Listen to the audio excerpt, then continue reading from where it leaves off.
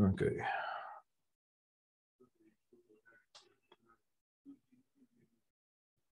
You guys ready for the lab today? Let me just quickly check if the lab was posted. I hope it was posted. I think I did.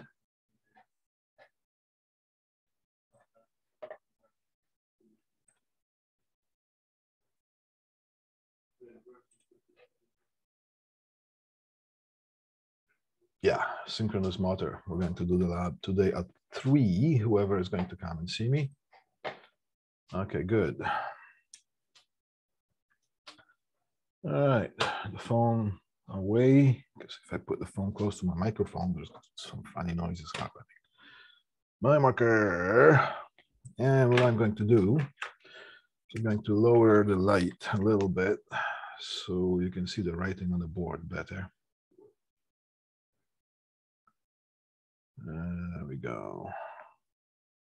You can still see me, I guess. But now you're going to see the board better. All right.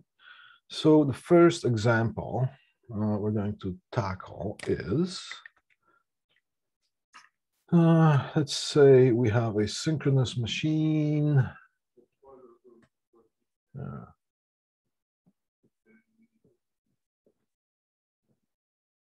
and we're going to consider this thing as a motor.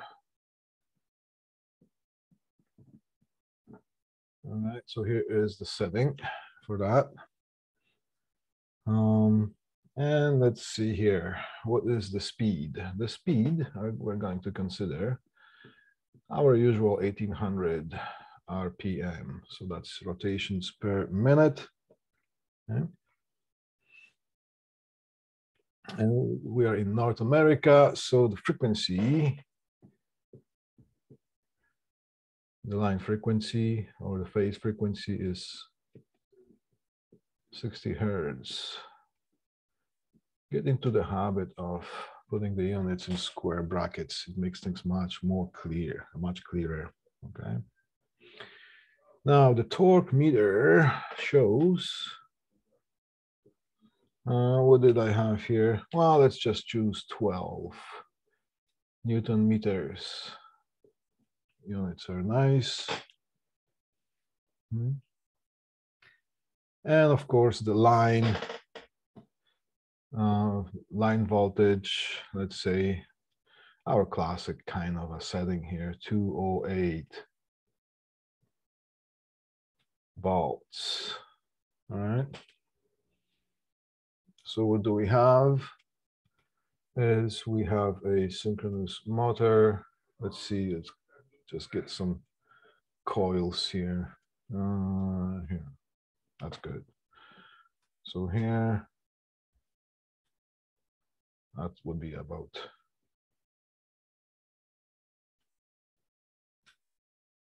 and they're coming right to that one spot.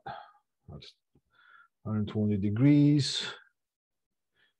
So the line voltage is uh, 208 so basically, this voltage here, that's the VL, which is 208 volts, okay?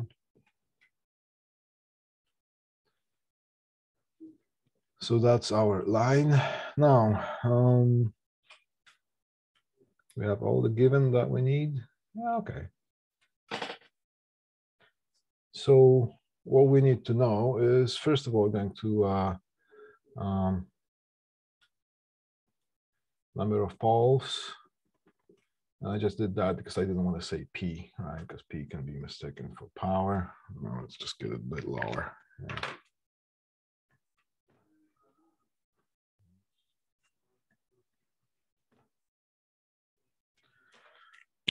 Um, there we go.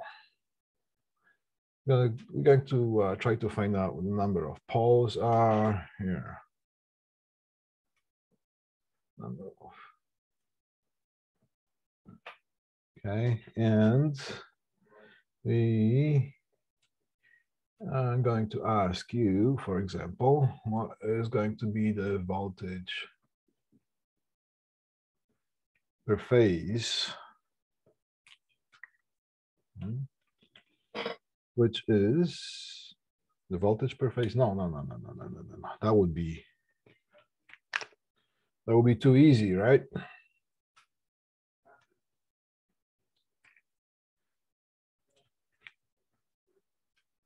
Let's see, what do we need to uh, expect? What we're going to expect. Um,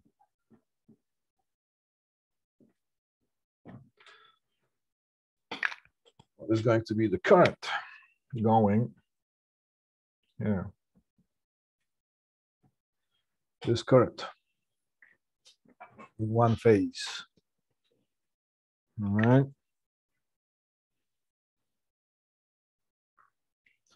So anyone could uh, uh, could start uh, doing any calculations here. Anyone has idea what should we tackle first? We need to know number of poles and what is the current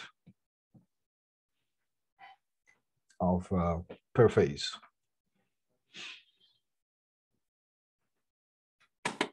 You can come on voice, guys. Uh, that's fine. It's just like being in the classroom, kind of thing.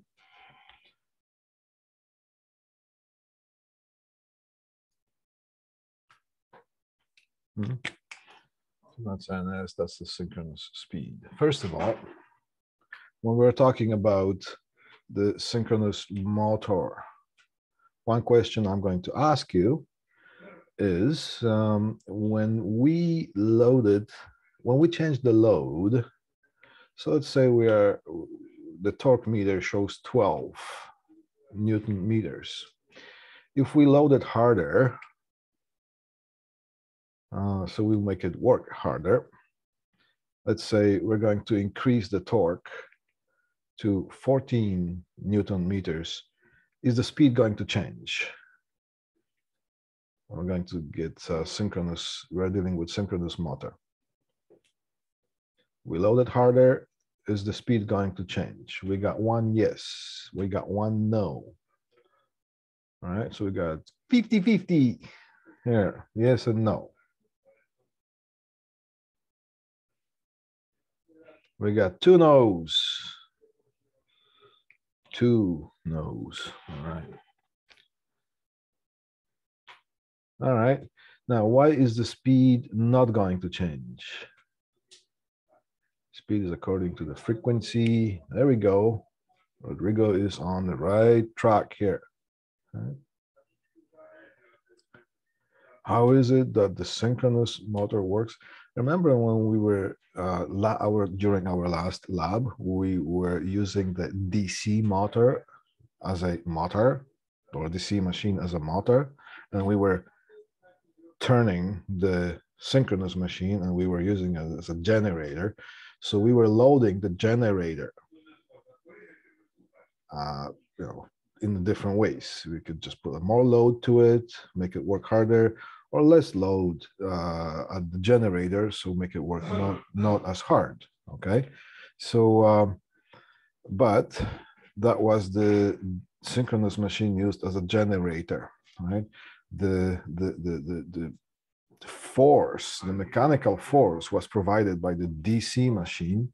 So in that case, uh, the DC motor, when it was work, uh, make, uh, made work harder, yes, the speed would change on the DC machine, but it's a DC machine. How is it that the um, how is it that the synchronous motor works? Well, these are the stator windings here. And they're arranged in certain way and they are not moving. And we are providing three phase voltage here, three phase power. Does the stator turn? No, the stator does not turn. What is it that turns that has to do with the stator?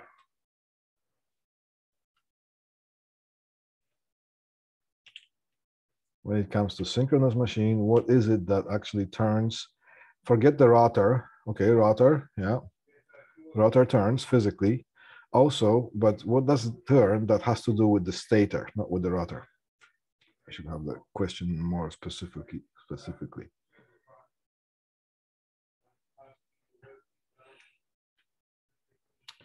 armature doesn't turn. Armature stays. Stator winding, all right? So we're talking about the stator and the stator winding. There's something that turns. There. Something that revolves, something that is spinning around. When we have the stationary coils, field winding, or we could just say winding field. Good, Rodrigo, right? So when we apply the, the uh, three-phase power, which means the voltages that are going up and down in sine wave uh, format, right? They are going to create a magnetic field, but because they change and they are 120 degrees apart, it is going to make the magnetic field revolving around it. And the magnetic field is going to be strong. Right? So that is what that's what turns. Okay. Excuse me. Now, the magnetic field doesn't really have any weight to it. So as soon as we apply the power, that magnetic field is going to start spinning right away. There is not going to be kind of a gradual speed increase. That thing is just going to rip right away and it's going to be strong. If we put a magnet bar or electromagnet inside that, that electromagnet is going to try to follow and it will follow because if, if that magnetic field is strong and this magnetic field is strong enough of the bar, magnetic bar or electromagnet, it is going to lock onto that field. So, um, so by the same token here, if we load that harder, that magnetic field is not going to be affected. That magnetic field is going to be strong and it is going to spin as it was. And it's going to be the rotor's job to keep up with it. And it's going to keep up with it until we put too much load onto it. And if we got too much load, then it's going to cease. It's going to stop and that's not a condition that you want because that's how you that's a pretty good recipe to burn out a motor pretty quickly okay that's different from an induction motor but the induction motor we're going to cover next. But this is the uh, synchronous motor this magnetic field of the permanent magnet in quotes because it's not a permanent magnet it's an electromagnet. We're magnetizing that steel bar or the, the, the ferric bar.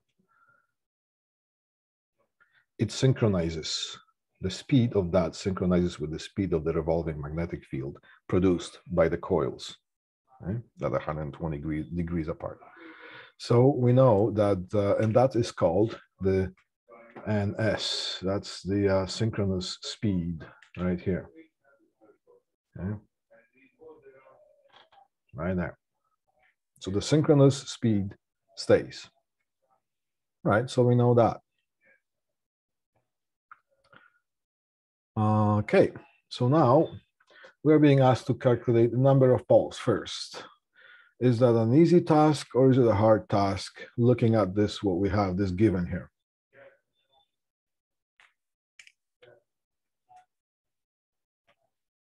Any formula that comes to mind?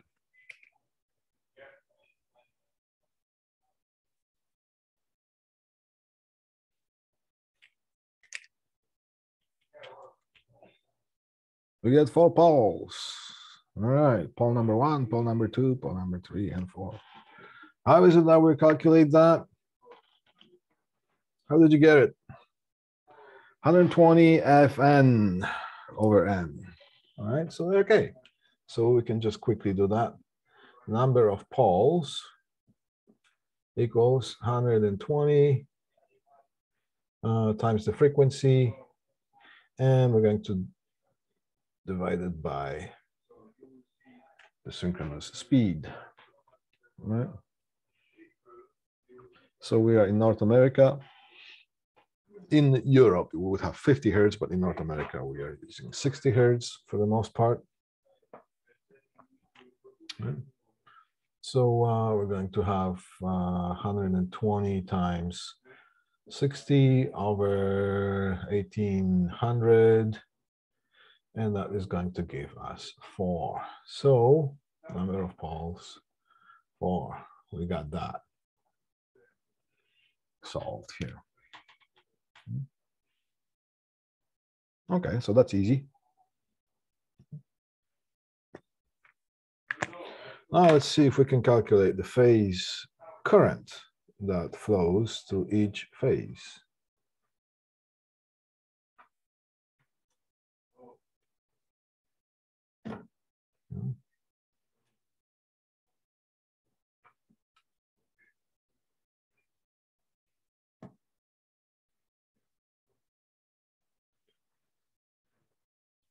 How can we begin to tackle this one here?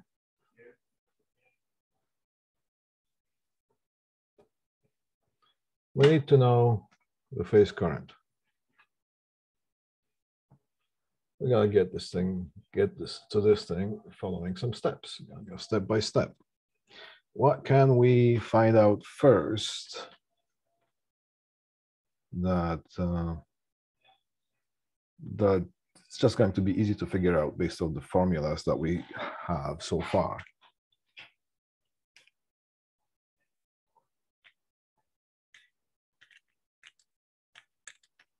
It's okay, guys. Come on, boys. I don't know. Why do I have? I mean, I got a check mark here beside your name. Did you do something to that? Oh, yeah, because that's the, uh, you said you answered the question as yes to something. Yeah. Okay. All right. So what what can we find out first? What right away? It was an accidental click. okay.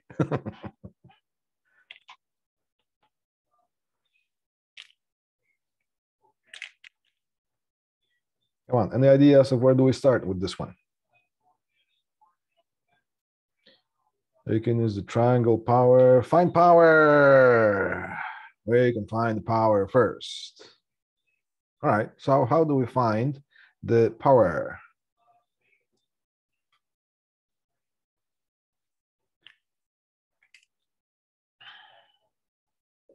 E times I, yeah, in three phases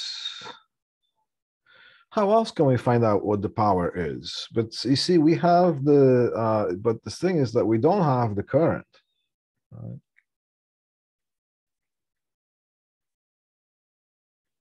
There we go. We have, we have an answer. All right. The formula we're going to apply is,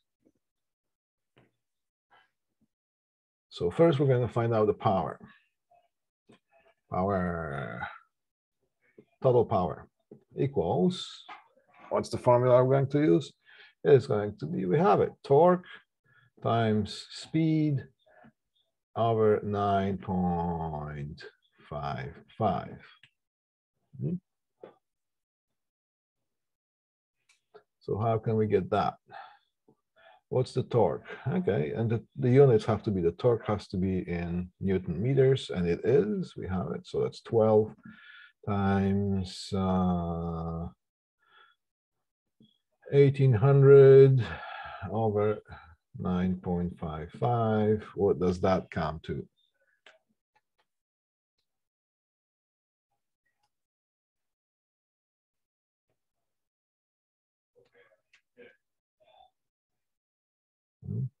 Anybody give me a number? There we go. 0.78, yeah. So I just, uh, we can just round it off to, let's say, well, uh, the number I got was two, uh, 261.261.8. So we can round it off to two uh, two, six, two, and the unit is watts. Okay. So that's the mechanical power. P and P mechanical. Yeah, P total, total power here. That's dissipated here. Right? So we know the power. Uh, well, I can just say power equals two, six, sorry, two, two, six, two. Is that right? Yeah. And that's watts. So we have our power.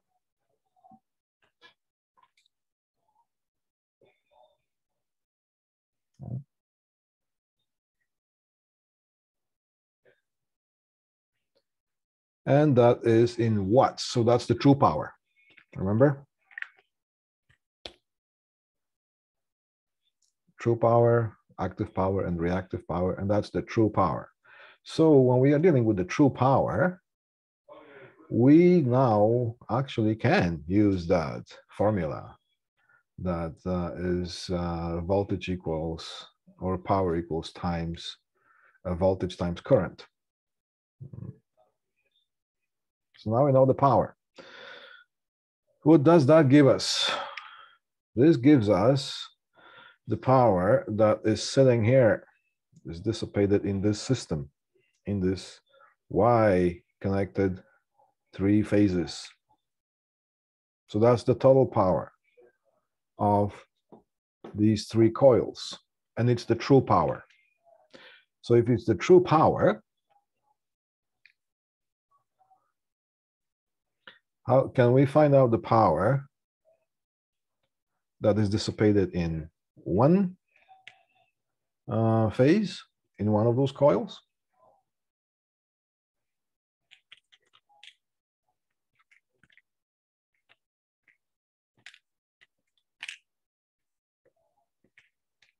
Probably, yeah. How can we find out the power that is dissipated? See, if we know the whole thing, the whole power that is dissipated in this whole thing, and we know this is the true power. So how does the true power relate to one versus three? There you go.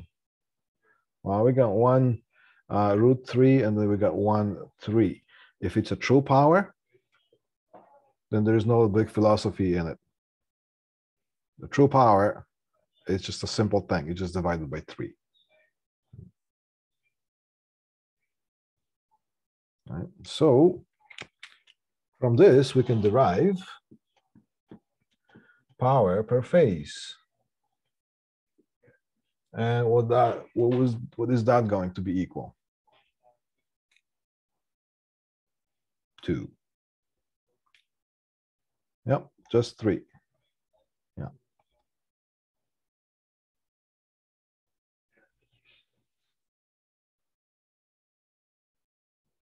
Someone give me the number.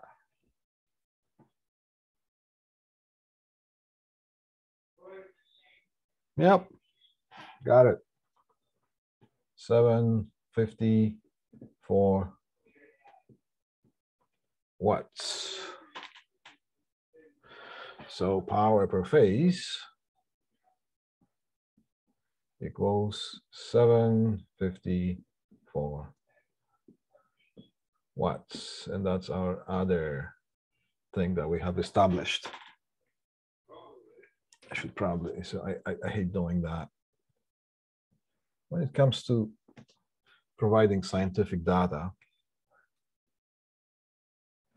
let's make sure that our numbers involve no guesswork. Okay. So now we know the power that is dissipated per phase. 754 plus 754 plus 754. It is going to give us the 2.262 kilowatts. Right? or 2,262 watts.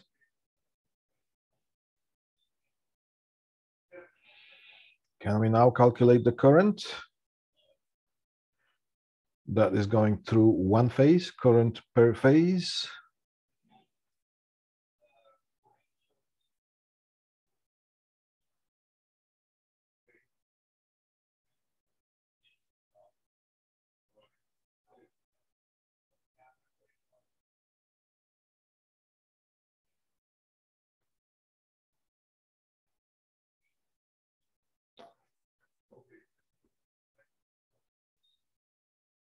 Yeah, we could do that.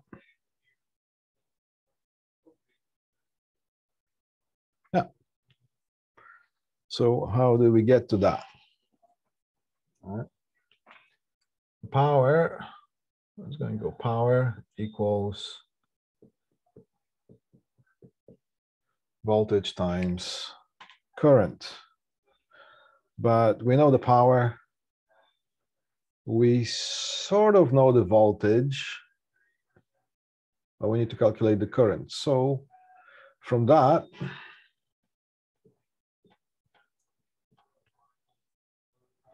here's the equal sign. In order to get just the current or just the I, we have to divide it by E, but there's an equal signs. We have to do the same thing to the other side.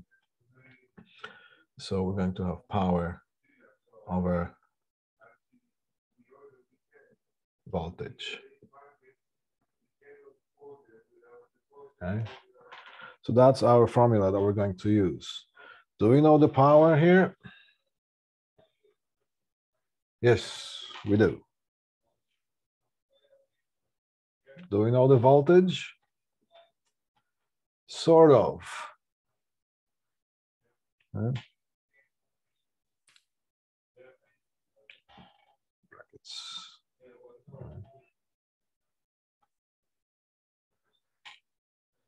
How do we know the voltage? We know the line voltage, so we know the voltage between here and here.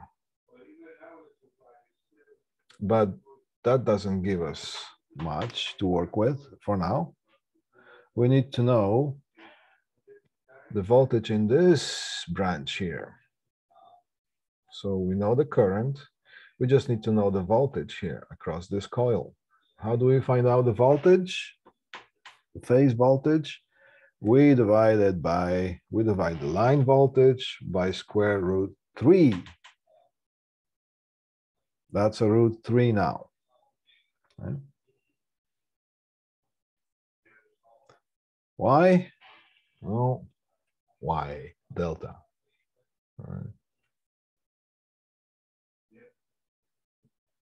Here's a delta. Here's y the relationship between this here and that here is actually going to be square root 3.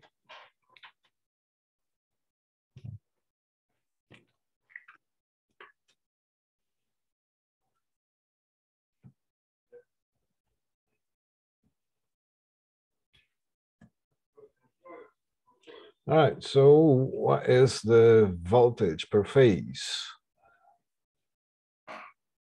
So we're going to go voltage per phase equals voltage line line voltage over square root three. Somebody give me the number, and that should be almost um, given without the calculation, but the same as delta 2y, yeah. yeah.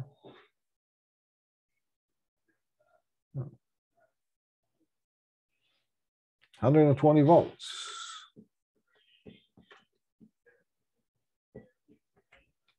All right. So now, now we know that the voltage around here is 120 volts. And we know that the uh, power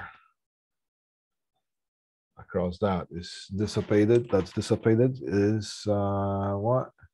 We have 754. Well, we just plug the numbers in. This formula right here. So current equals power. Oh, you know what? Let me just use a little bit more space here so we can be more clear on things.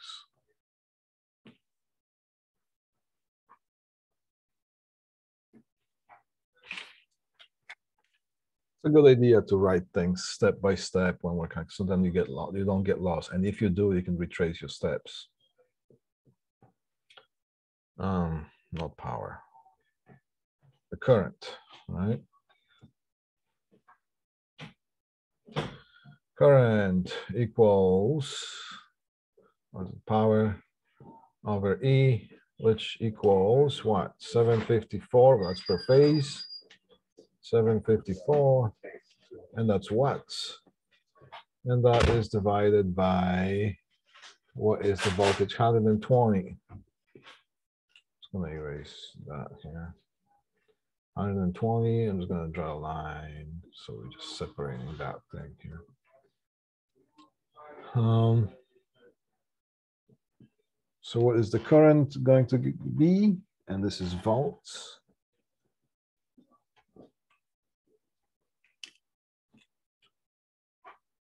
What does that give us?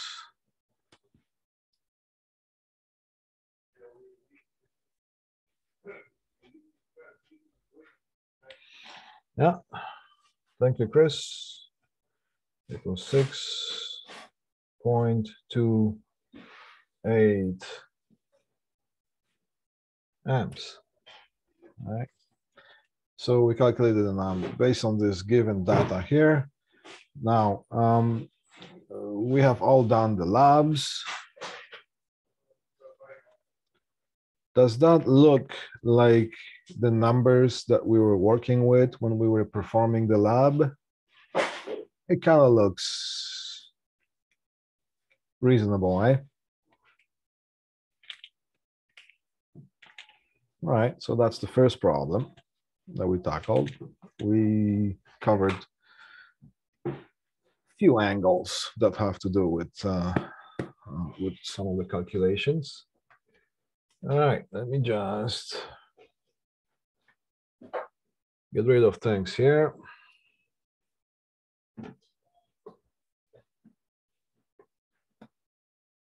That's a lot of ink that we have used. Yeah.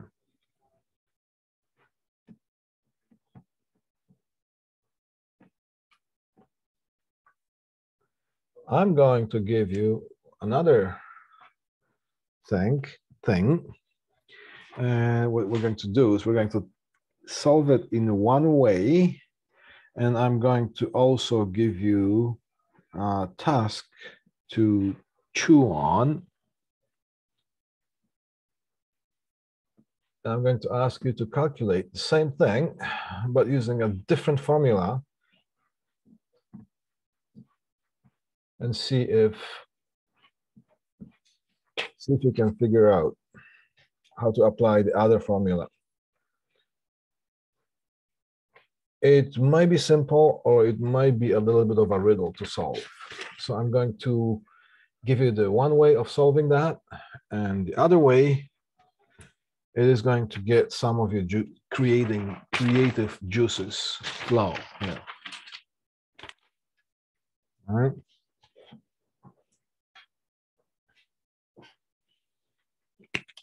Okay, let me just make sure that I give you, yeah, we still have time. Let me just make sure that I give you all that you need to have here for, for this. Here is a magnetic field that we have. And there's one here.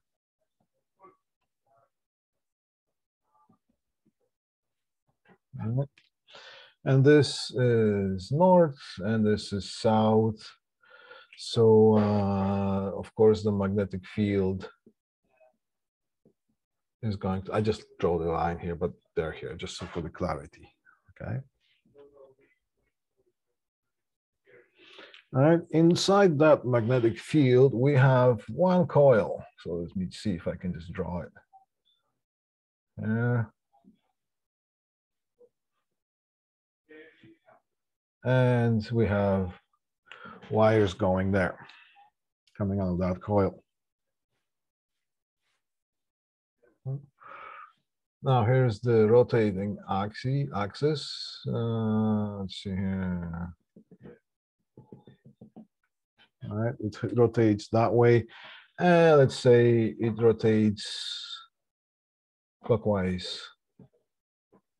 That's the that's the rotation here. Now we have terminals A and B here. Right. And what do we have? We know, let's say I'm going to give you the length of this coil right here. What did I choose that to be? Well, 20 centimeters, so let's get 0.2, uh, well, let's put 20 centimeters.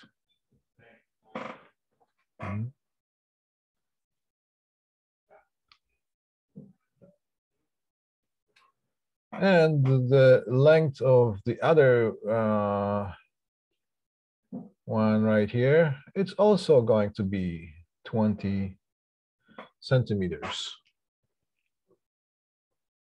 So I got 20 by 20. And this here thing turns. It turns at the rate of the rotations per minute, what we have,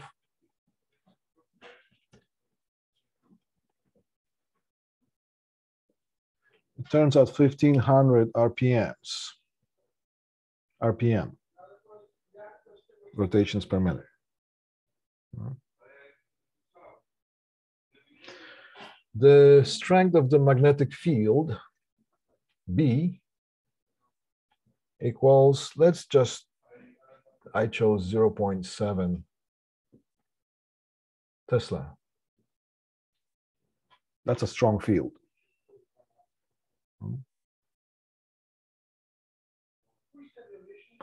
Okay. Did I give you all I needed to?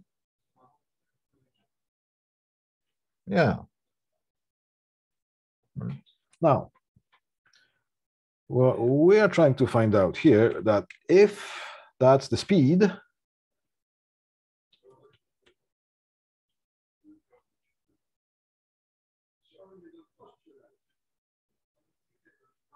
what is the voltage going to be generated if this thing goes from the standstill position and at that speed, it turns 90 degrees, just like that. So at this speed, if it turns that way, just 90 degrees, just like that.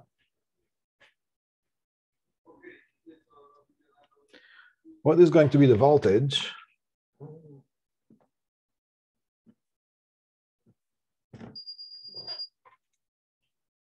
that is generated on that. And what is going to be the polarity?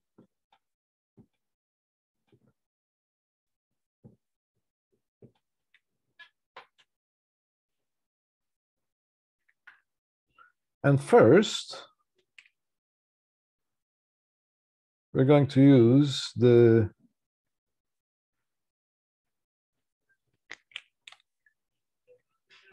So we're going to do the 90 degree turn, all right? From this position into this position, so we're doing this here.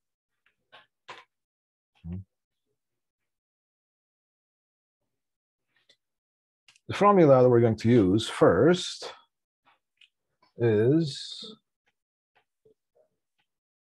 E equals B L V. All right, so that's the formula that we're going to use. Can we establish what is going to, what the voltage here is going to be when this thing turns this way at this speed?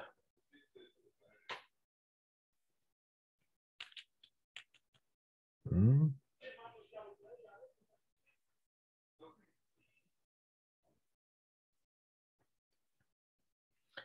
Well, we know the magnetic field. We know the length of this rod, this one rod. Now,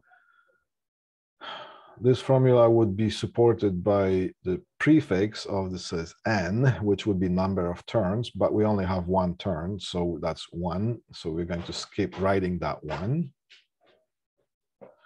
And we're going to uh, uh, have also at the end here is going to be the cosine of theta, which would be the angle between this and uh,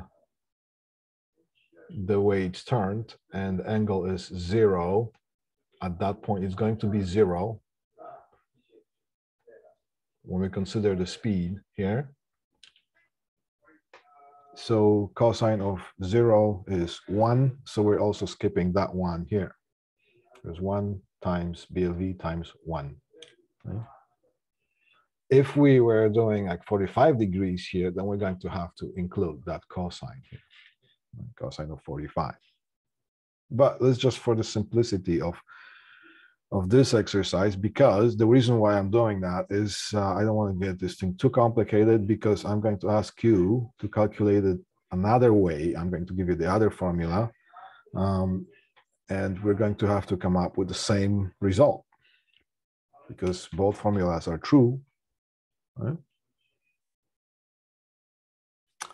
So quickly, we know the field, we know the length. Do we know the speed? And what kind of speed are we looking for? The speed that we're looking for is when this conductor finds itself in this position here, and that is going to be the this speed because we are interested in that speed here, or the velocity, is the velocity, we're interested in the velocity of that conductor cutting the magnetic field at the right angle. That's all we're interested in. That's why if we are having it here, we also consider, we also have to uh, uh, find out what is the speed, the magnitude of the speed, not going that way, but going this way, right? So that's what we're interested in. So first we're going to have to find out the speed in meters per second. So that this here speed has to be meters per second. This uh, length here is meters, and this oh, yeah, uh, and this uh, B is in the uh, magnetic field. We're going to use it in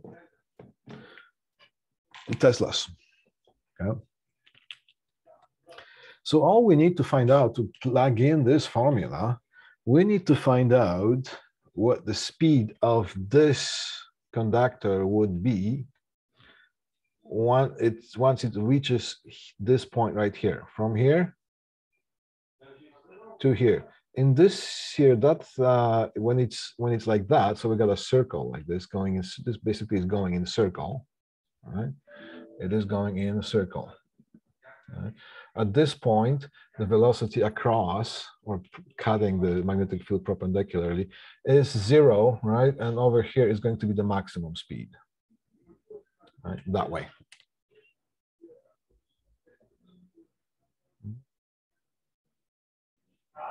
So how do we find out what the speed is here, knowing that we have the what the, that this coil turns at 1500 rotations per minute?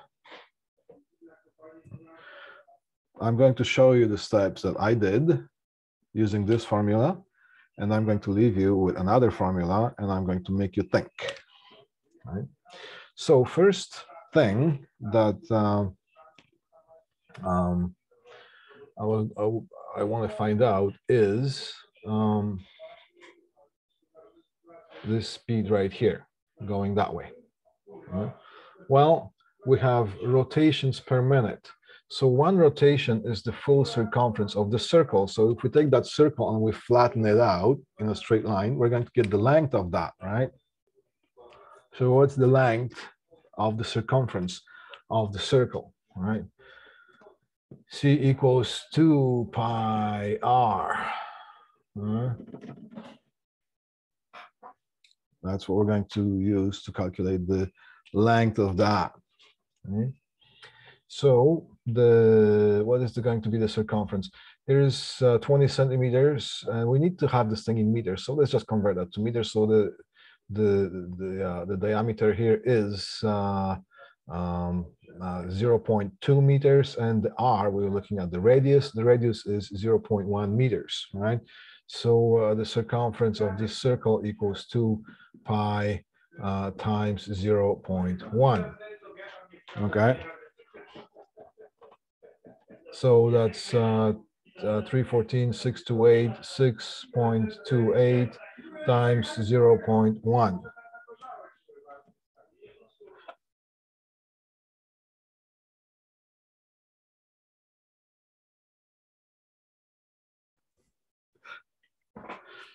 Uh, so the circumference of this circle here is 0 0.628 and that's in meters. So what uh, are the lengths you have drawn? I can't read them. Okay, so this length here is 20 centimeters and this here is 20 centimeters. So that gives us the circle circumference of 0 0.628 meters. So that's revolutions per minute. So that means in one minute, this distance is going to be covered 1500 times.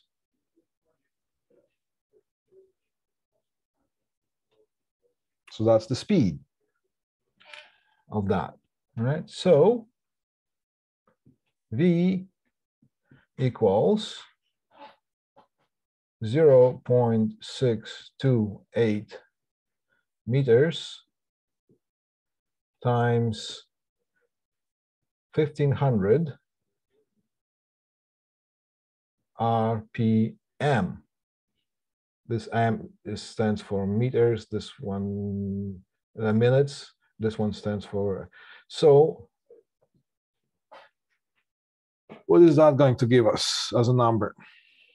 0 0.628 times 1500. Let me just quickly uh, 0.628 times 1500. That gives us, I get that thing right here. I get the same thing here. I'm just gonna follow my sheet here. All right. That gives us nine forty-two meters per minute. But we need to have a meters per second. So we're going to divide that by 60. Divide by 60. That gives us 15.7 uh, meters per second. Right? Just get rid of that calculator so I can see myself. Yeah. So at this point, right now, when that thing rotates, when this coil rotates at 1500 RPMs, we know that the speed at this point is going to be 15.7 meters per second going that way. Can we plug that in now? Sure we can. All right. So E at this point equals B L V equals, can we see that? I'm gonna lower the light here. Uh, what is the uh, B here? That's the 0 0.7 field strength of the field is 0.7 Teslas times uh, what's the length? 20 centimeters, so that's 0 0.2 meters. 0 0.2 meters times what's the speed? 15.7 meters per second. What does that come to?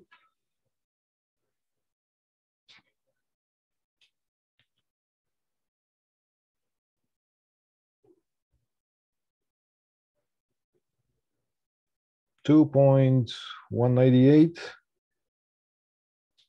Yeah, equals two point one ninety-eight volts. But what is what is that voltage here? That E. That voltage, because we're considering that length here. Right?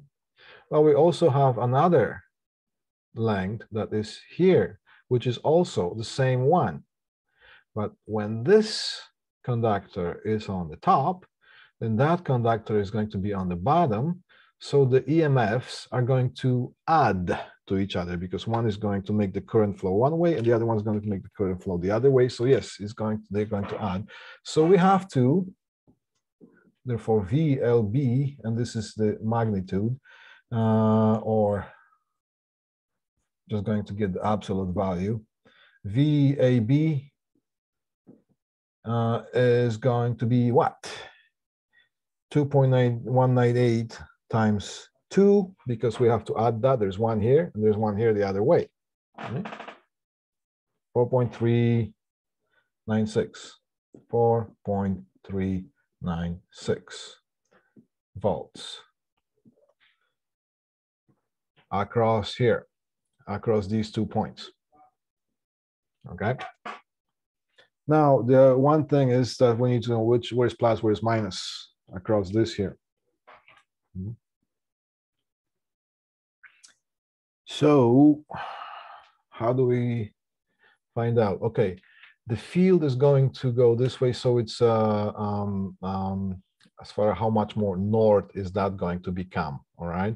So let's say this conductor, if you um, if you just take a snapshot of that conductor right here, and if you magnify that, all right? So here's the field, north and south, and it is moving uh, the field, the, the, the magnetic field going this way, all right? Uh, then uh, this, this thing here is moving this way, all right? So this side of this conductor is going to meet the field first, and where is that change is going to go? So this side is going to become more north. So the change is going, the change is going this way, all right?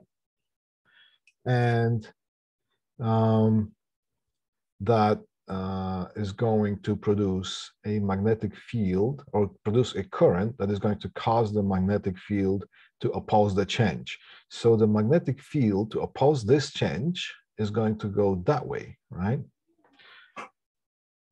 Uh, so we're going to use the right hand rule. Uh, so the magnetic field has to spin this way here. So if we have a conductor right, with the field going this way, right?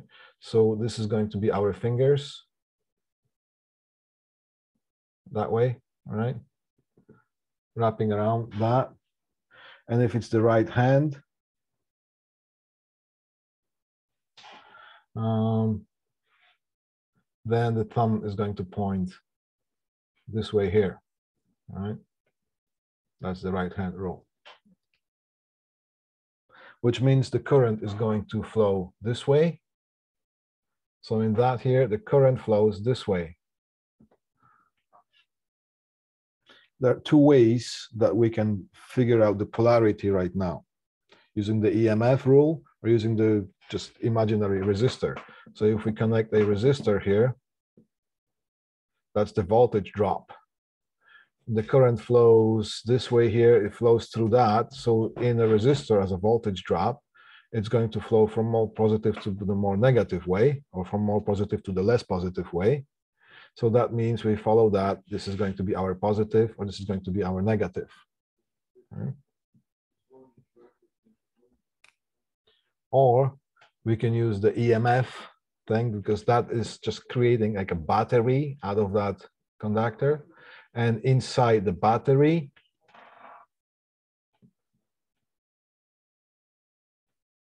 yeah, if the current flows this way, it flows this way. So it's going to flow this way. So it's going to go from negative to positive. So that means this is going to be negative. This is going to be positive. Still adds up.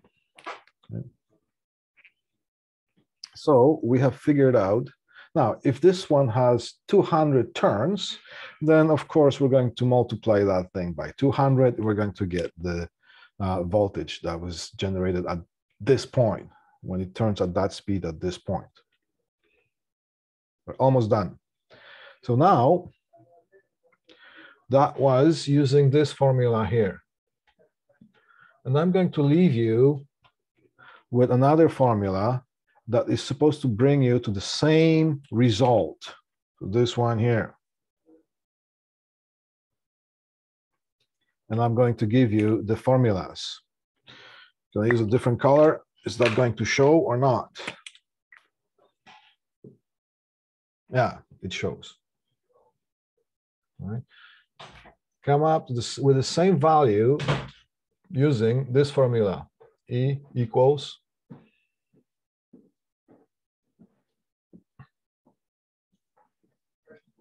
change in flux over the change in time. Use that formula here. Change in flux over the change in time. So I'm going to give you this formula here. Now I'm going to give you the formula of how do we get the flux and what is flux? Flux is the magnetic field that we're interested in, the magnetic field that is affecting whatever we are working on. Everything else is magnetic field. We put something in there, the magnetic field cuts whatever it is, and whatever the affected area is, that is considered to be the flux. Okay, so uh, the flux formula for the flux equals um, equals